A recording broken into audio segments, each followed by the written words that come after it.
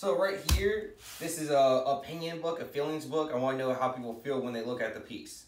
So I know if I'm doing my job right correctly as an artist, making people feel something angry, happy, sad, anything. My dad taught me at a really young age with an artist's job is to make sure someone is feeling something, no matter if it's a negative emotion or a positive emotion. And that's what I'm trying to do is figure out how people are feeling when they're looking at certain pieces of my art.